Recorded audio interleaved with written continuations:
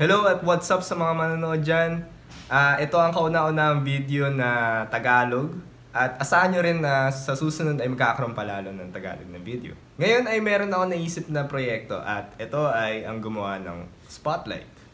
So madalas kasi ah, pag gumagawa ako sa gabi, kung mapapansin nyo na sa camera may mapapansin kayo parang grainy. Tapos, ang pangit kasi mahina yung ilaw. So, kapag gumagawa tayo sa kotse, madalas na ginagamit natin ay flashlight. O kaya naman, yung cellphone. So, minsan meron kang tagahawak ng ilaw. Minsan naman ikaw lang sa sarili mo. Tsaka, kaya dahil doon, resulta nun, pangit. Yung mga mabibili natin sa hardware na spotlight ay may kamahalan. So, kaya naisip ko na gumawa na lang sa sarili ko na kapag napundi to, ay pwede ko pa siya mapalitan. Ang spotlight na gagawin natin ay gagamitan natin ng ah, LED na bombilya. So, yung presyo na mabibili natin ay halos or less sa nabibili na gawa na na spotlight. Ang kagandahan kasi nito ay kapag ang isang bombilya ay napundi, pwede mo siya palitan. Gagawa tayo ngayon ng spotlight na gawa sa limang bombilya na LED. Yung limang bombilya na LED, lalagay natin sa kahoy. Tapos, lalapatan natin to ng parang foil na nabibili sa ano sa National Bookstore. Tapos, yun yung magsisilbing reflector niya. Para mas malakas yung ilaw na lalabas doon. Yung spotlight na gagawin natin ay very customizable. Kasi, dito, pwedeng kahit iba't ibang kulay ang gusto mong ilagay. Like, for example, ang gusto mo ay puti yung isang LED at yung isa naman ay dilaw. So, kumbaga, depende na yun sa yung preference. Depende rin naman sa'yo kung anong gusto mong lakas. Dahil may iba't iba tayong choices. Like, for example, ah, gusto ko ay 5 watts. O kaya naman 12 watts. Siyempre, the more na mas mataas yung wattage niya, the more na mas malakas yung output niya. At saka kaya LED ang gagamitin natin is kasi para matipid siya sa kuryente. Ito naman ay may maraming paggagamitan, hindi lamang sa paggawa ng kotse, kundi rin sa iba't ibang activity tulad ng paggawa ng iba't ibang gamit o kaya kahit saan pa sa bahay mong gamitin. Tsaka hindi lang to yung kailangan mo ng tao na may tagahawak. Tulad nung flashlight na kailangan may tagahawak yan para lang matulungan ka. Yun kasi pwede mong isabit o kaya naman may nakastand siya sa isa tabi. Ang magagastos natin sa spotlight ay halos same lang naman dun sa nabibili na Yarina. So depende pa rin yan sa'yo kung magkano yung gagastos mo dahil kung ang gusto mo ba ay maraming LED o kaya depende rin yan kung saan ka bibili. Siyempre kung mas mataas ang wattage, mas mahal siya. Tsaka kung mas marami naman, mas mahal din. So ano nga bang pinagkaibahan nito sa nabibiling spotlight at saka dito sa gagawin natin spotlight? Ang kagandahan kasi nito, kapag yung sa atin kasi may isang bumbilya na pundi, pwede mo siyang palitan. Unlike nung Yarina na naka-fix, naka-enclose sa loob, kapag yun ay sira, kailangan mo na siyang palitan ng panibagong spotlight. Or, baklasin mo at ayusin mo yung mismong LED. Kumbaga, hassle siya. In the long run, mas makakatipid ka pa rin dito sa gagawin nating spotlight. Kasi, as long as pinapalitan mo yung bumbilya na napupundi, okay pa rin siya. So ano pa ba hinihintay natin? Tara at ipapakita ko sa inyo kung paano gagawin yung spotlight. So guys, ang pinakaunang kailangan nating ah, gamit ay ang kahoy. Kasi ito magiging base mismo ng ating ah, spotlight. So choice mo niyo kung gusto mo bumili ng kahoy sa hardware store o kaya kahit saan, kahit anong shop. Siyempre, dahil dun ma- mas papagastos ka, di ba? So, ang second choice natin ay tumingin sa paligid. Siyempre, dito sa drop project, eh, resourceful tayo. Hindi lang tayo basta bumibili ng mga gamit dyan kasi nakikita natin na meron pa maaaring paraan o kaya solusyon na maaaring magpagana sa bagay na yun. At dahil doon, alam natin na sure tayo doon sa quality na ginagawa natin. Kasi alam natin kung paano siya nabuo at ano yung ginamit natin doon. So nabanggit ko sa inyo kung bakit tayo titingin sa paligid ng bahay. Kasi common sa Pilipinas kasi na, for example, meron kang kapitbahay na ginagawa ang bahay. Madalas makikita mo may mga nakatambak na kahoy dyan, semento at iba pa. So pwede nating gamitin yung mga ganung gamit.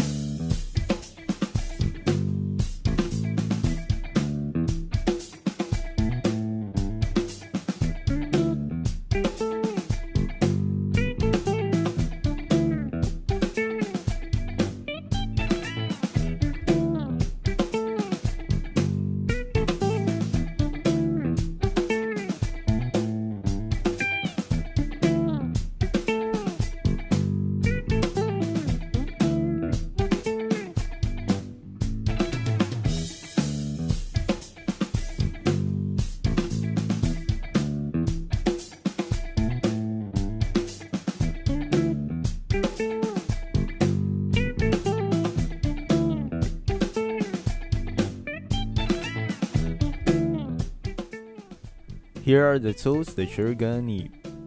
LED bulbs. Here's the bulb socket. These units are fairly cheap and it comes with screws. Here are the two wires applicable for 220 volts. Be sure to have the right wire for the specific voltage of your outlet.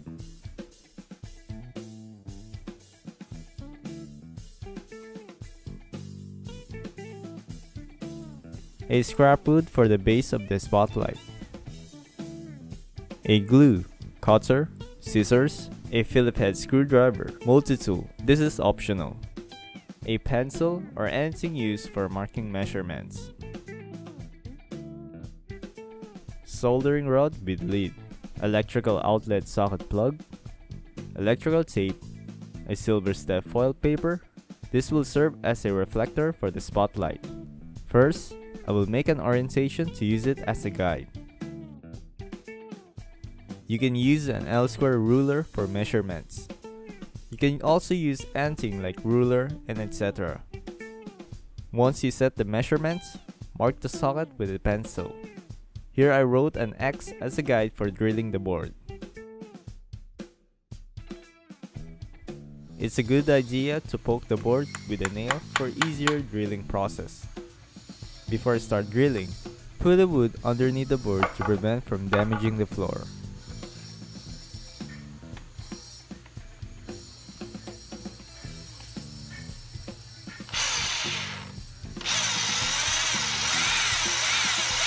After drilling, make sure that each holes are smooth. It shouldn't have sharp edges. You can use a knife, sandpaper, or file for removing sharp edges. Lay down the foil, measure it, and start cutting. Put an adequate amount of glue to the surface. Here's a tip. It is better to spread the glue before putting down the foil for a greater finish. I realized that after this process. You can use a piece of cloth and a card to spread the glue.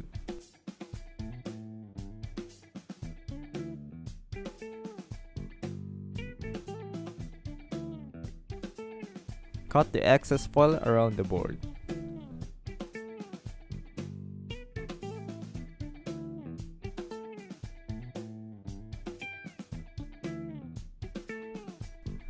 Measure the socket's formation to determine each spot.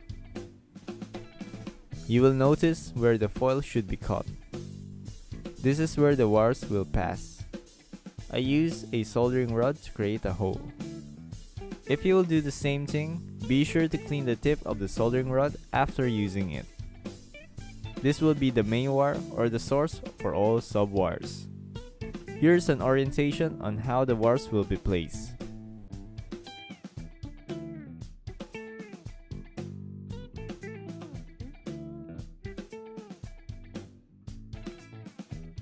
Splice each wire with a cutter.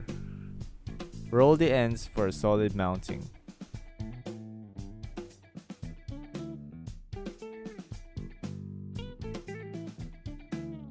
The wires will be inserted opposite to each other so that the wires will be straight. Push the excess wire around the mounting.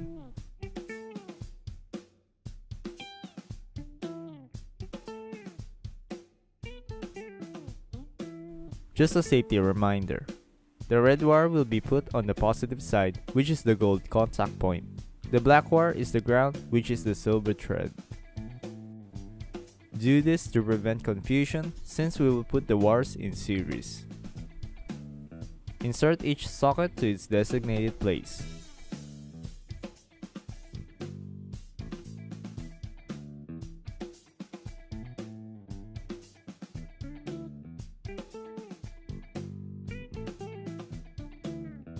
Splice the main wire and connect it to the sub wires.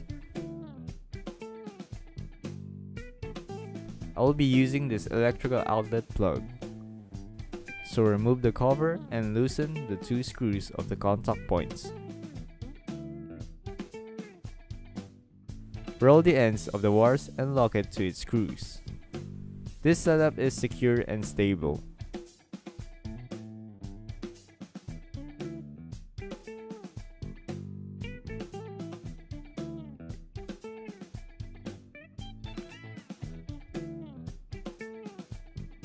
Tighten the screws of the cover.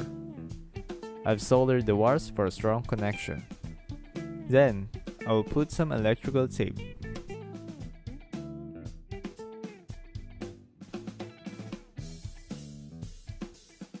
Next is to create a handle for the spotlight. But before that, let's test the lights first.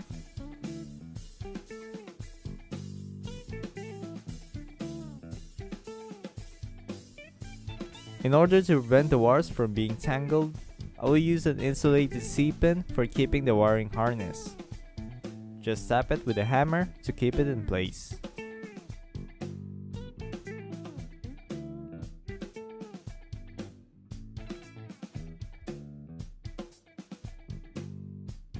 Now I'll put some bolts each side and this will act as an holder for the handle which is a steel wire.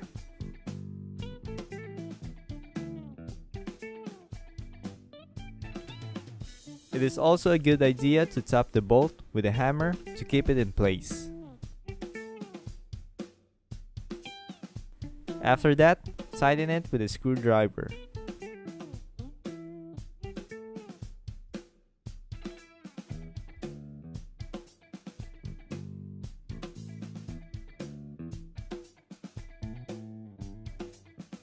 Grab a steel wire and cut it into this shape. Use a pliers to mold the wires into the ends of the bolt. Make sure that these are secure.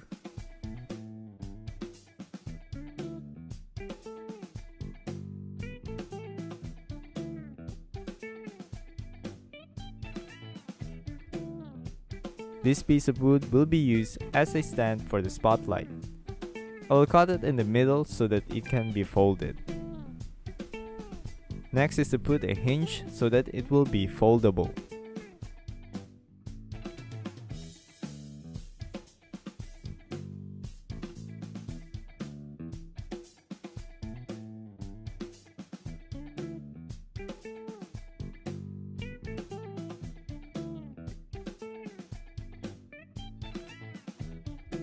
I use a little rubber as a spacer made out of slippers. It is necessary to prevent the screws from reaching out the board.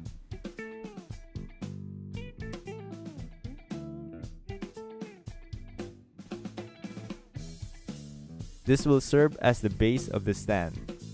This is to avoid the stand from touching the wires. This is the result when everything is connected.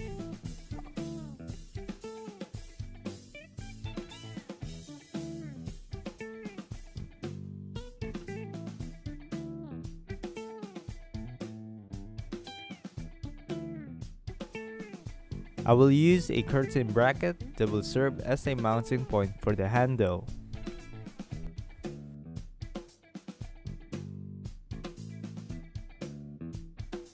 Just repeat the process.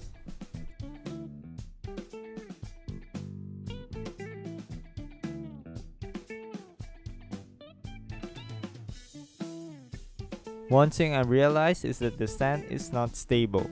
Therefore, I need to use a bracket to lock it in place.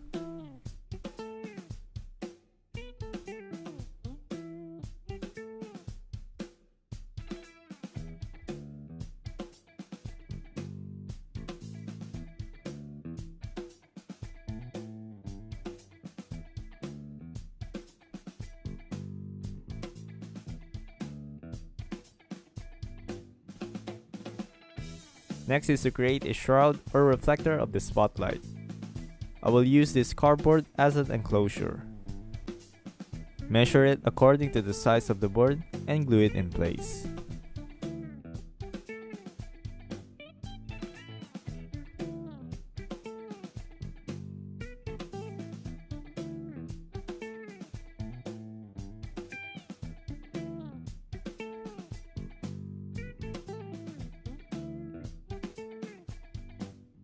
I will use an aluminum foil paper for the reflector.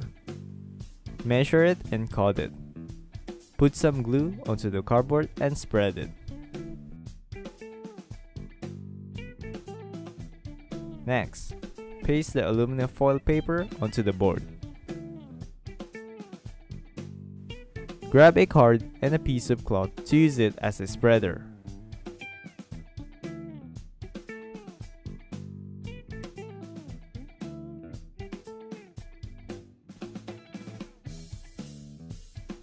After that, it's time to install it onto the spotlight.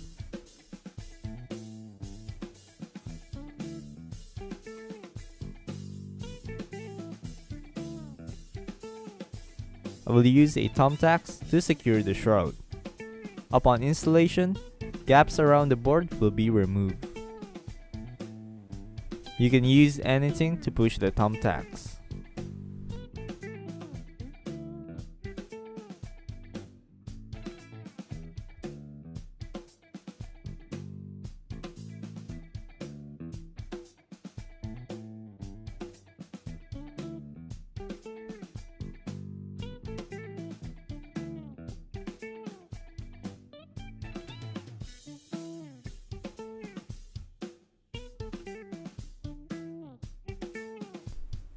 Final step is to cover the thumbtacks with tape to keep it in place.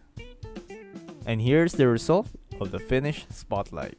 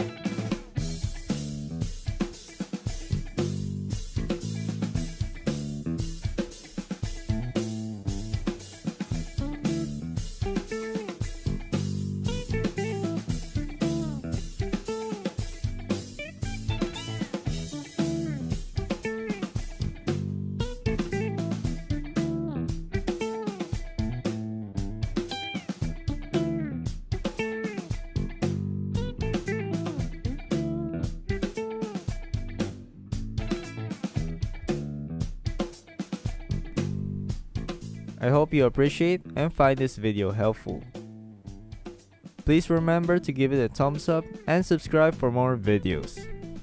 Thank you very much for watching and God bless.